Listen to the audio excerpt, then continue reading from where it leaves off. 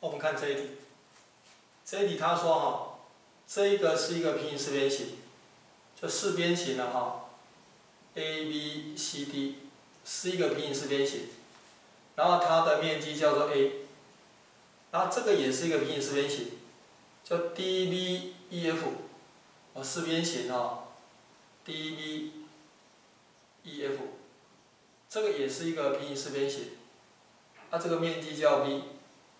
啊，这个也是一个平行四边形，就是四边形 D E G H，也是一个平行四边形。啊，这四边形叫做 C。那么它要你比较 A、B、C，这嗯这三个数哈，哪一个比较大，哪一个比较小？好，首先我们看哈，这个面积啊哈，跟什么？跟这个面积会一样。首先我们看看哈。这个面积哈，这一半啊，就是说三角形哈，这个 B C D 三角形 B C D 的面积等于多少呢？等于 A B C 的一半，哦，就是 A 的一半，就二分之 A 了。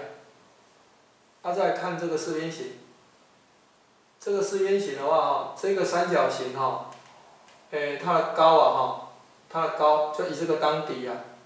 高啊，跟这个平行四边形以这当底的高是一样的，所以呢，这个三角形的面积哈，也是这个平行四边形面积一半，所以也等于多少？二分之一多少 b 啊？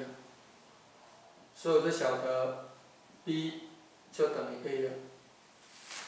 好，同样道理哈，我们现在来看哈，看这个三角形，这个三角形哈，就是三角形哈。D E F 这个面积，哦，这个面积的话哈，等于什么呢？等于这个的一半嘛。哦，因为呢，这个是这个平行四边形的对角线，哦，这个三角形面积哈，是等于这个平行四边形面积一半，等于二分之一 b 了。啊，也等于多少呢？